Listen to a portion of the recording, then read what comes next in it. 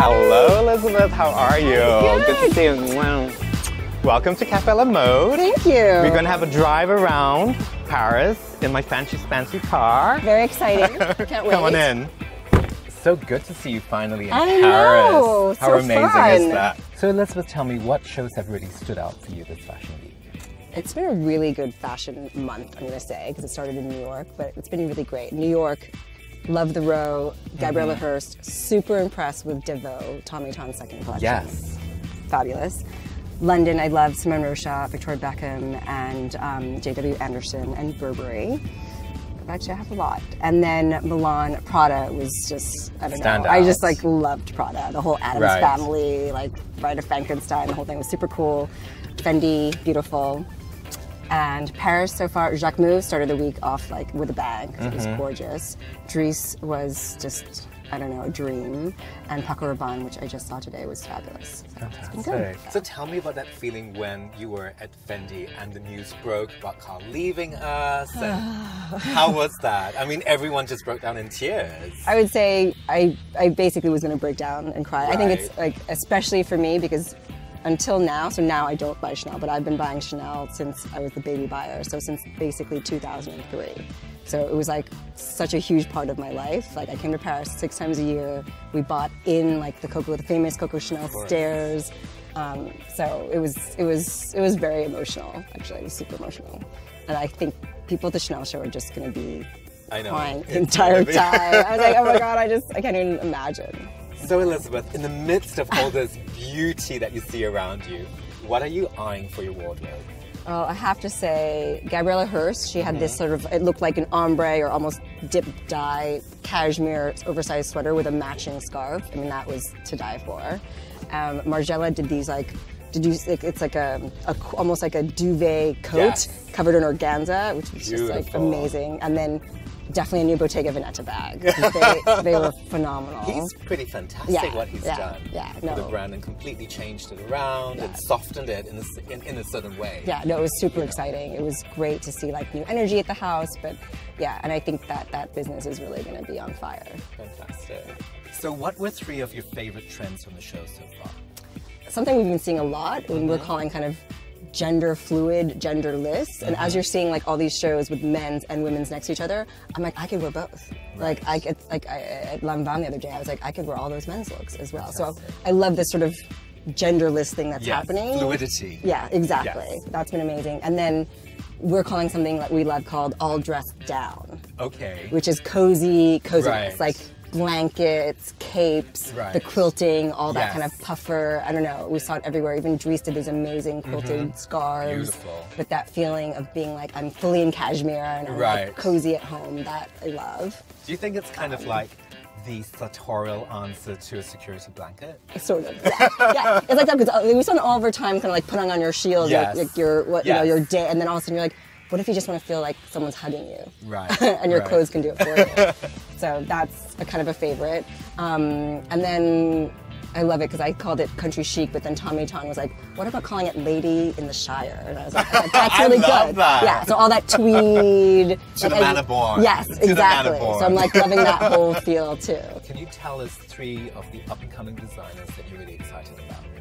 Um, we just launched Peter Do on a Mm-hmm. site, and he is just perfect for making elevated daywear, like beautifully tailored. And commission three designers Mm-hmm. who really have come up with kind of wardrobe staples. Right. And I really love Materiel, which Right. is a designer that we found in Tbilisi. Okay. Just really, again, soft, beautiful trenches, feminine. Fantastic. If you could describe your personal style in five words, what would it be? Oh, that's Number one. Oh my God, this is hard. I'm a Gemini. okay. Um, my mood, Okay. um, playful, Playful. Classic, Classic. I love that. um, timeless, Right. mm, a little eclectic. Eclectic. We like that. We like that. We like all those elements. This What about good. yours? What are your About my words? style, oh my gosh. I think vibrant. I love color. I love print. I think something to do with my heritage. Okay, I yeah. think that's really, really important. I think it has to be fun. Right. Yeah. Yeah. I think nothing That's too right. serious. Exactly. We're in fashion. Fashion I should know. be fun. So Elizabeth, complete the sentence for me. A woman looks best when. She's confident. Of course. Uh, I always say you have to look, you have to feel it. If you don't feel it, it's true. yeah. It's true. what do you wear to make you feel confident?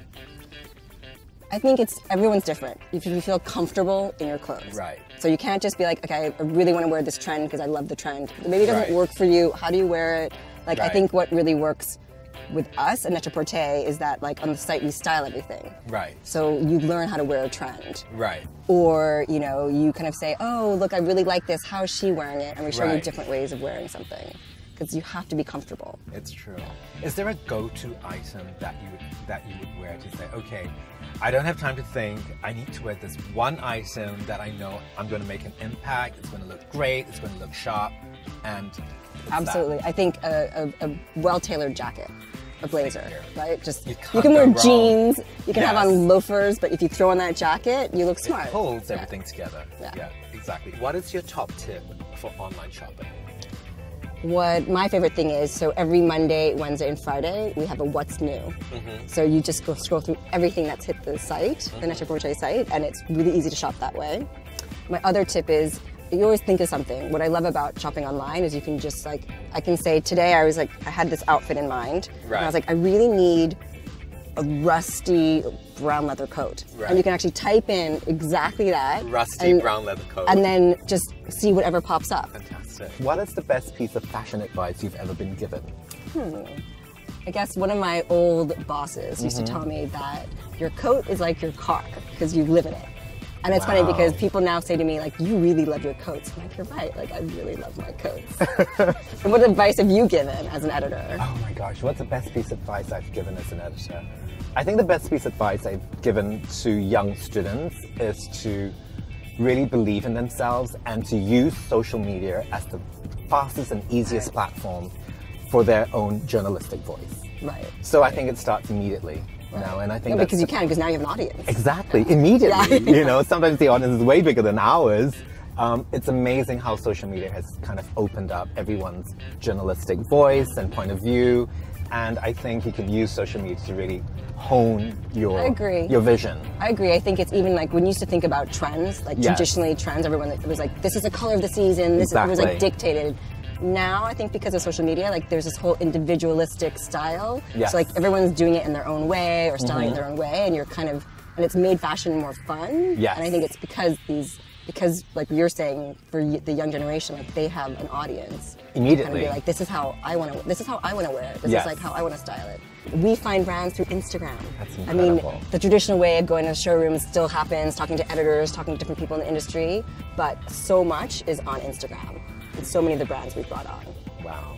Can you name maybe two Um, brands? well, Peter Do Yes. is one for sure. Ratio et Motus, this Right. handbag brand. Yes. And we have, I mean, literally every season we find brands. Amazing. What is the best place to go shopping in Paris?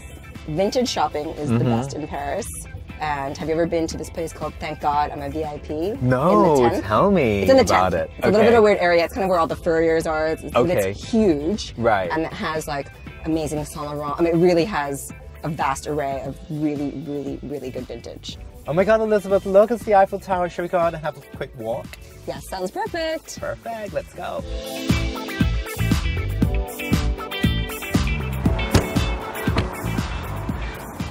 So I'm going to ask you like five questions. Okay, sounds yeah, good. really, really like random questions that. Ask away. Okay. If you had to wear one color for the rest of your life, what color would that be? Oh God. it's probably black. I Black. it. Oh my God. So obvious, I'm Elizabeth. sorry. If you had to pick a man's name for yourself, what name would it be? Mm, Nicholas. Nicholas is very, very prestigious. If you could find a period in history or up to now that you could live again, what period would it be? The 80s. The 80s, I'm not right? gonna go way back. The 80s. If you had to pick one food to eat for the rest of your life, what food would that be? Rice. Can't tell she's Asian. Can't tell. If you had the choice of anywhere in the world to live in, where would it be? Oh, that's super hard. I don't think I can answer that. I love to travel. I, I can't know, live but- in one place. Okay, so the world will be where you Yeah, live the in. world. okay, now it's my turn to ask you five Oh questions. God, I don't okay. have To think of what they are. Well, actually, I do want to know this one. What is Right. your favorite, like, or the only, if you had one food left you could eat in the world, what would it be? It would be something fish and something soupy and something noodly. Okay, that sounds good. That, what is the first thing you do when you get home from being in Paris for Fashion Week for two and a half weeks straight? The first thing I want to do is just eat Singapore food. yeah. I mean, it sounds really pathetic, Like but it's craving. true. It's just eat some hot Singaporean food. If you were stuck on an island for the rest of your life, Right. what one item besides water, like okay, you get Okay, water, okay, okay. you get coconuts. Okay. What else would you want with you? It has to be a thing, Yeah, an ob- like a, an, an object. Oh my god, an island. What thing would I bring along with me? Sunscreen. You're so practical. and what's your favorite? What's your favorite um, holiday destination? My favorite holiday destination of all time so far has been Bhutan, which was really, really beautiful and spiritual and happy. And the happiness index in that country was 100%. yes, yes, exactly. It was 100%. is the most beautiful, beautiful country, amazing It is people. in so many ways. So Elizabeth, it has been wonderful spending time with you with Cafe a la Mode. Thank you so much for being part of this episode. Oh, thank you so much for having me. It's been so much fun. So special. Au revoir. Au revoir. Thank you.